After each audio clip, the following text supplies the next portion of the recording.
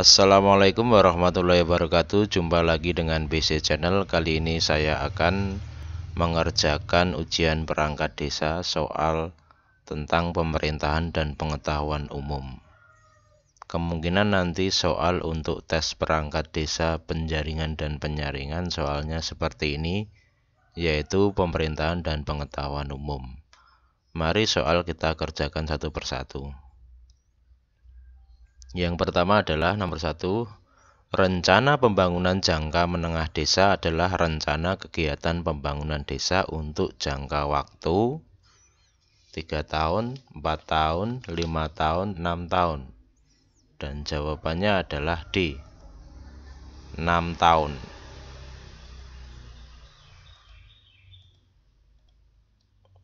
Rencana kerja pemerintah desa adalah penjabaran dari rencana pembangunan jangka menengah desa untuk jangka waktu 4 tahun, 3 tahun, 2 tahun, atau 1 tahun. Dan jawabannya adalah D. 1 tahun. Rencana kerja pemerintahan desa adalah penjabaran dari rencana pembangunan jangka menengah desa untuk jangka waktu satu tahun. Dana desa adalah dana yang bersumber dari anggaran kecamatan, anggaran kabupaten, anggaran provinsi, anggaran pendapatan dan belanja negara. Jawabannya adalah dana desa itu bersumber dari anggaran pendapatan dan belanja negara? Jawabannya adalah D.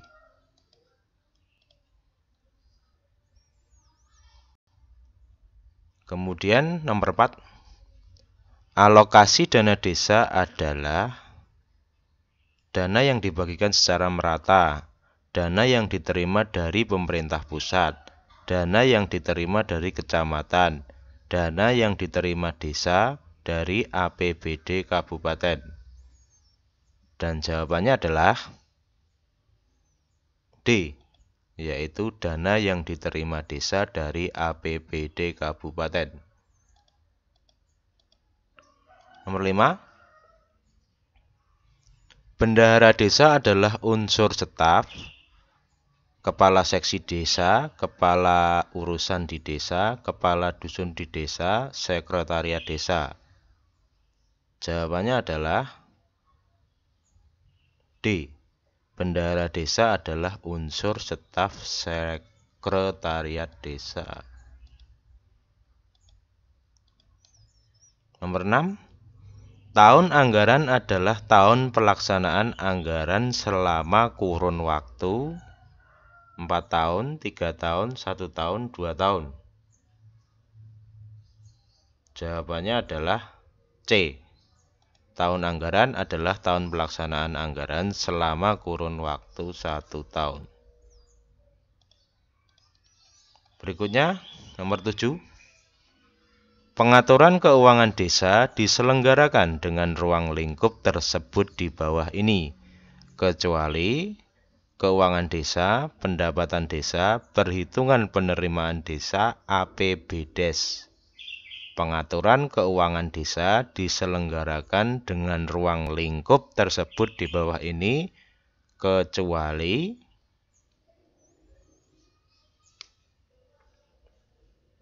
Jawabannya adalah C. Perhitungan penerimaan desa.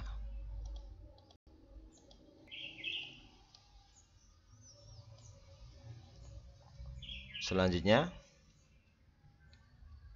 Keuangan desa adalah semua hak dan kewajiban desa yang dapat dinilai dengan A. Kerja perangkat desa menarik pajak Penerimaan dari pajak bumi dan bangunan Uang dan barang yang berhubungan dengan pelaksanaan hak dan kewajiban desa Iuran pembangunan dari setiap warga masyarakat Keuangan desa adalah semua hak dan kewajiban desa yang dapat dinilai dari jawabannya adalah C. Uang dan barang yang berhubungan dengan pelaksanaan hak dan kewajiban desa. Nomor 8 C. Pengelolaan keuangan desa dikelola dalam masa 3 tahun, 2 tahun, 1 tahun, 4 tahun. Pengelolaan keuangan desa dikelola dalam masa C. 1 tahun.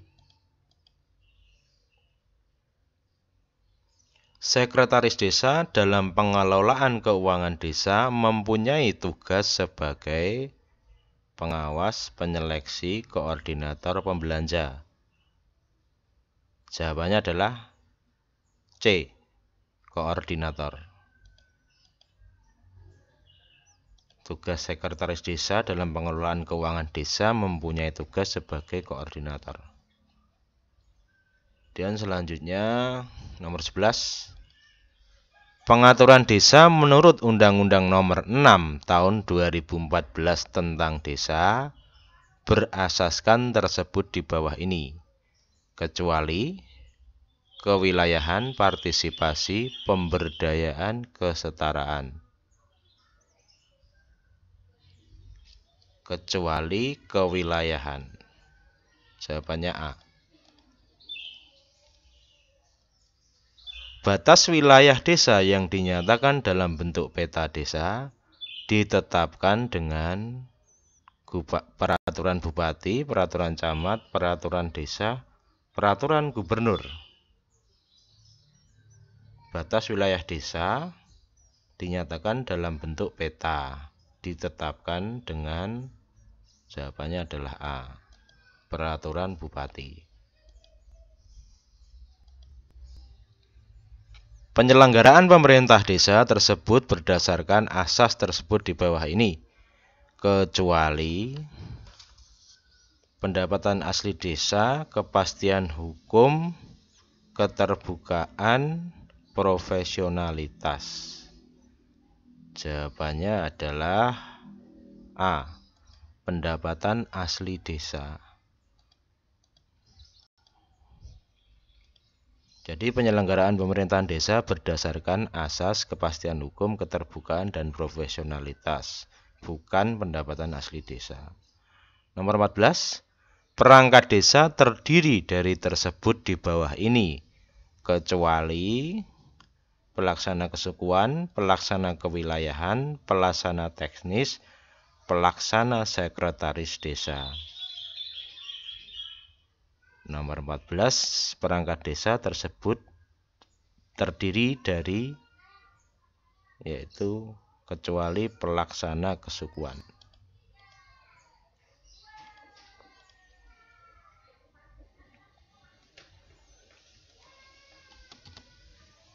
Musyawarah desa dilaksanakan paling kurang sekali dalam setahun, dua kali dalam setahun, tiga kali dalam setahun, empat kali dalam setahun.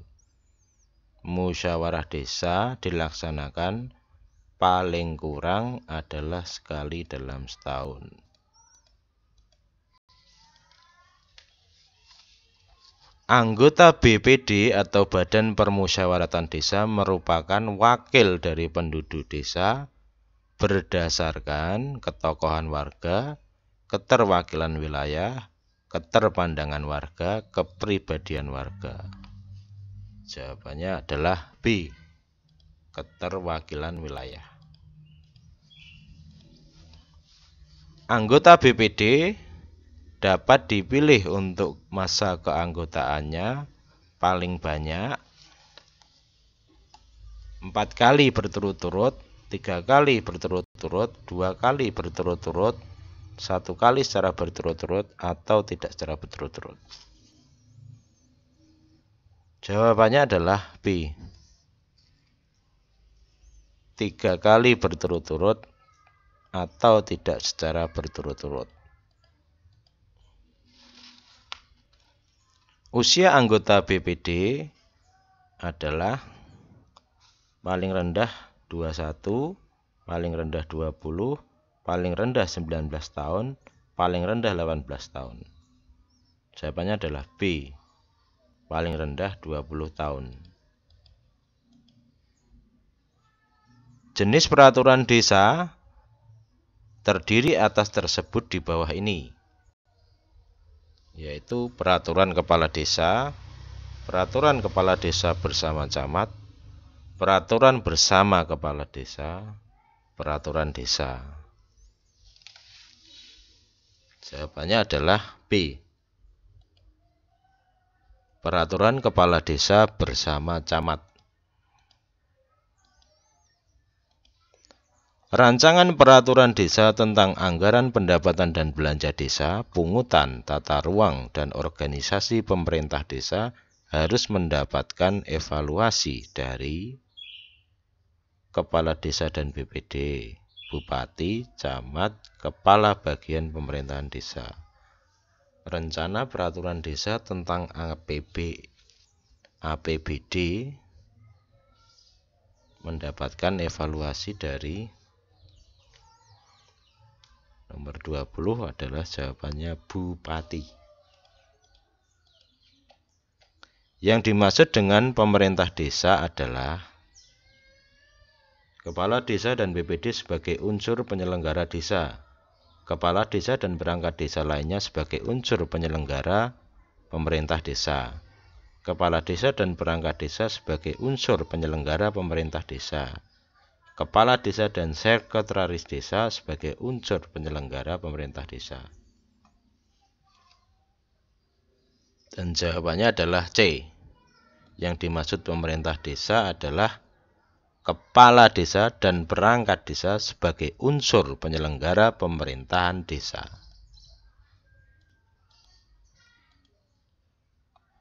Berikutnya nomor 22.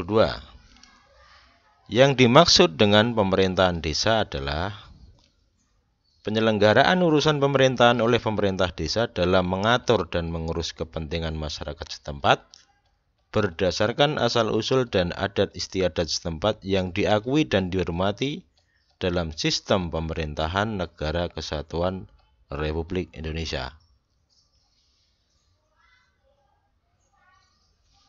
Nomor dua, penyelenggaraan urusan pemerintahan desa oleh mengatur mengurus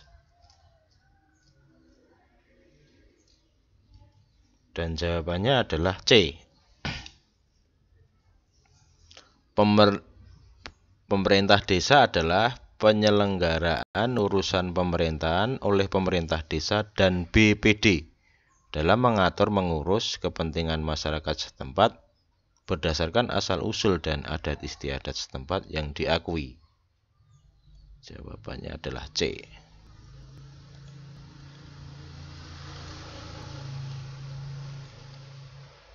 Nomor 23, BPD adalah singkatan dari Perwakilan Desa, Pemufakatan Desa, Permusyawaratan Desa, Badan Perhimpunan Masyarakat Desa. Dan jawabannya adalah C, Badan Permusyawaratan Desa. Soal berikutnya, APB desa adalah singkatan dari Anggaran Penerimaan dan Biaya Desa, Anggaran Pendapatan dan Belanja Desa. Jawabannya adalah C. Peraturan desa dibuat oleh Sekretaris Desa bersama LPM, Kepala Desa bersama LPM, Kepala Desa bersama BPD, Sekretaris Desa bersama PBD BPD? Dan jawabannya adalah peraturan desa dibuat oleh BPD, kepala desa bersama BPD, Badan Permusyawaratan Desa. Masa jabatan kepala desa selama di 6 tahun.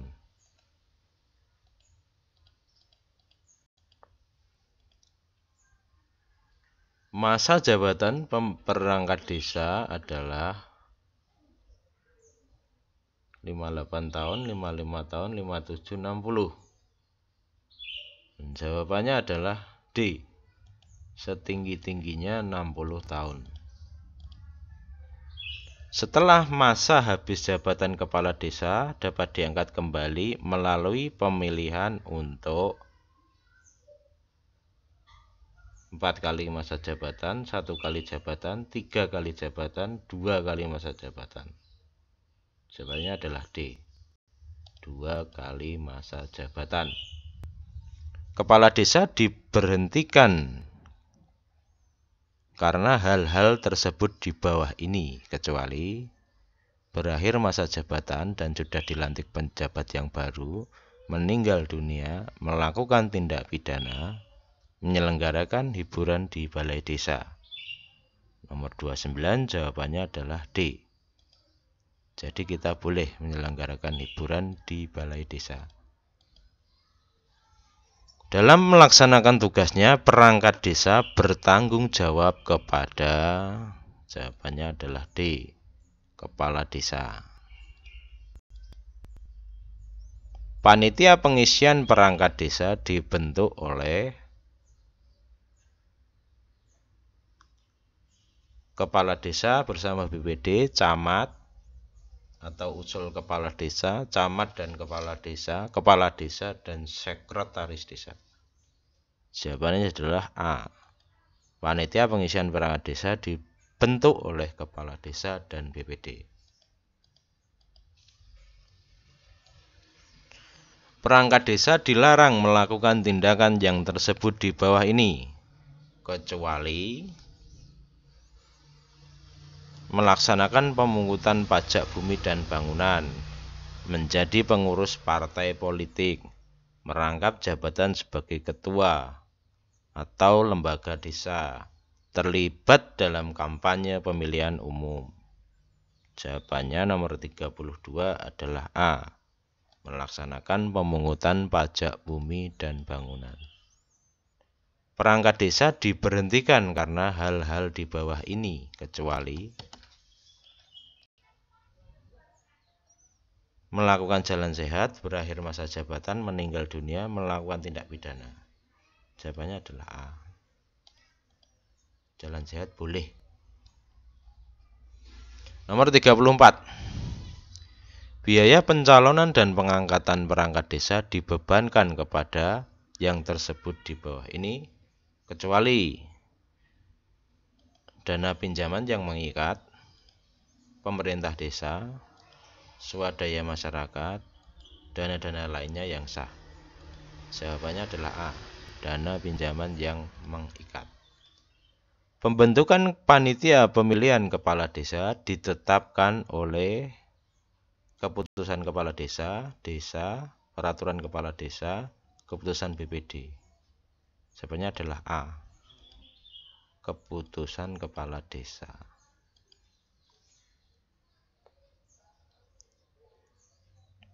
Perangkat desa mempunyai bertugas membantu kepala desa dalam mengurus bengkok, membantu kepala desa dalam melaksanakan tugas dan kewenangan, melaksanakan administrasi desa, mengolah tanah bengkok, membantu tugas-tugas BPD dan LPM. Jawabannya adalah B, membantu kepala desa dalam melaksanakan tugas dan kewenangannya. Nomor 37, desa diatur dengan Undang-Undang nomor A nomor 2, B nomor 6, C nomor 4, D nomor 8. Jawabannya adalah desa diatur dengan Undang-Undang nomor 6. Berarti B tahun 2014 tentang desa. Masa kerja perangkat desa terhitung sejak pendaftaran selesai, pelantikan atau pengangkatan, melengkapi syarat, mengikuti tes atau ujian seleksi. Jawabannya adalah pengangkatan atau pelantikan. Pendapatan perangkat desa antara lain di bawah ini, kecuali menerima selta PT ABD setiap bulan, menerima bagian komisi dari proyek, menerima tunjangan yang bersumber APBDes, penerimaan lain yang sah, menerima bagian komisi dari proyek. Jadi pendapatannya tidak dari bagian komisi proyek desa. Sanksi administrasi bagi perangkat desa yang melanggar larangan tersebut di bawah ini, kecuali teguran tertulis, melakukan kerja sukarela, teguran lisan, pemberhentian sementara. Jawabannya adalah B. Melakukan kerja sukarela. Lanjut ke nomor 41. Perangkat desa yang diberhentikan sementara diberikan penghasilan sebesar 60, 55, 75, 40. Jawabannya adalah 75%. C. Para kepala urusan di desa dipimpin oleh para kaur itu dipimpin oleh yaitu sekretaris desa. Para kepala seksi merupakan unsur pembantu dan pelaksana tugas operasional. Kepala seksi adalah pembantu dan pelaksana tugas operasional dari kepala desa.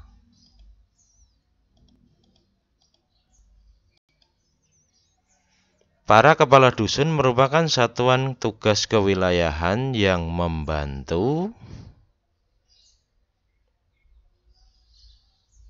membantu kepala desa. Tingkat perkembangan desa adalah swakelola, swadaya, swaraya, swarasa, swawarna, swawasan, swasembada, swakarya, swadaya. C.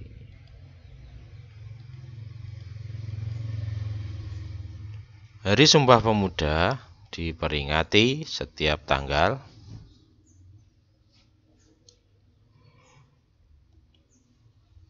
dua puluh delapan Oktober. Salah satu pahlawan revolusi adalah jelas Ahmad Yani. Yang bukan nama daerah kabupaten kota provinsi Jawa Tengah adalah yang bukan nama kabupaten provinsi Jawa Tengah Brebes, Pekalongan, Purwodadi, Purwokerto. Jawabannya adalah D. Purwokerto. Purwokerto itu Jawa Barat. Atau Jawa Timur. Yang bukan nama wilayah kecamatan di Kabupaten Brebes adalah mana ini? Nomor 49 Losari Bumi Ayu Salem Bumi Jaya yang bukan nama wilayah kecamatan di Kabupaten Brebes Jawabannya adalah D. Bumi Jaya. Lagu Indonesia Raya diciptakan oleh ya jelas WR Supratman. Oke, demikianlah contoh soal latihan untuk ujian perangkat desa tahun 2018. Semoga dengan soal ini dan jawaban ini bisa membantu teman-teman dalam belajar menghadapi ujian tes perangkat desa di desanya masing-masing. Demikian dari saya, semoga bermanfaat.